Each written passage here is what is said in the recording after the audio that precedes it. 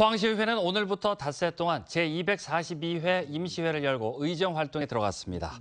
포항시의회는 본회의를 시작으로 내일부터 상임위별로 추경 예산안 예비 심사를 시작하며 지난 회기부터 논란이 됐던 하수 재용 시설 농축수와 하수 처리장 생물 반응조 사업 관련 조사 특위가 이번에 구성돼 활동을 시작할 예정입니다.